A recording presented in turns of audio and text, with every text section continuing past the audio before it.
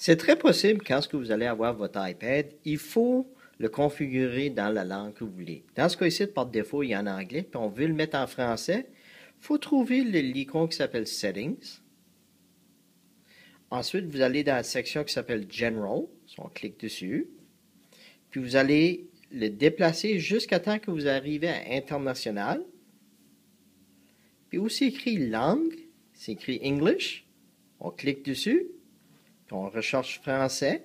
On sélectionne français. Et on appuie sur Done.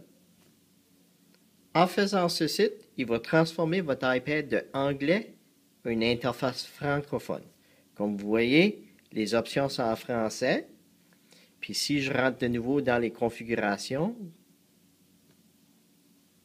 tout est en français maintenant.